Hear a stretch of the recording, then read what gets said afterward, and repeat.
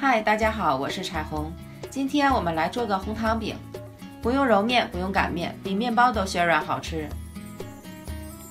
现在碗中倒入三颗酵母，一勺白糖，然后倒入二百五十毫升温水，将酵母化开。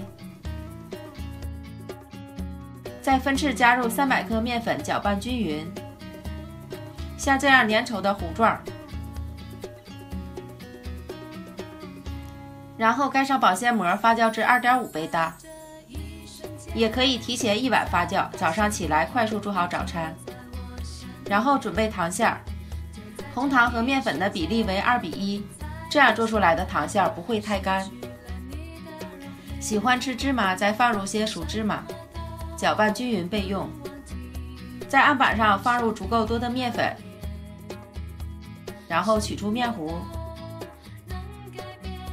整理成长条形，下成八个面剂，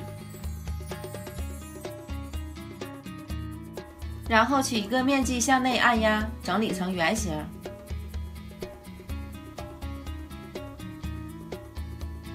再将它按扁，包入红糖馅儿，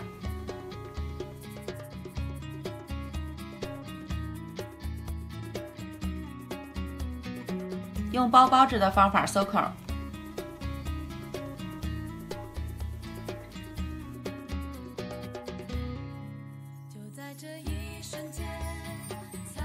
饼铛预热后刷油，放入饼坯，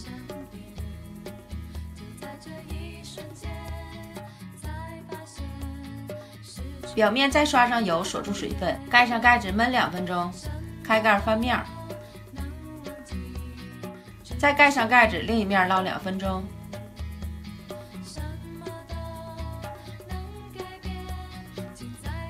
用手按压，快速回弹即可出锅。